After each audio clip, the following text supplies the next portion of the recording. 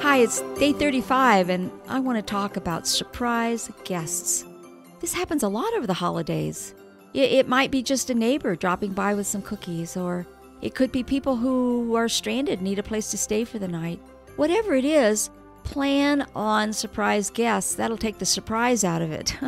and it, there's not always a way to do this completely, but you really can be prepared for surprises like this.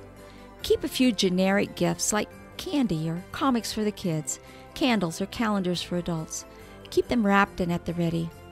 Use color coded wrap, stickers, and ribbons to match the gift to the kind of recipient who would love it. Just keep them handy by the front door. You'll have something to hand out. And as far as those overnight guests, keep it in the back of your mind.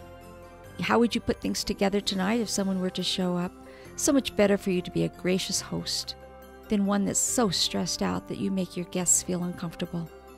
Today's the day to get ready for surprise guests. I'll see you tomorrow. Debt Proof Living with Mary Hunt was created and hosted by me, Mary Hunt. Produced by Julie Emerson, with Harold Hunt, executive producer.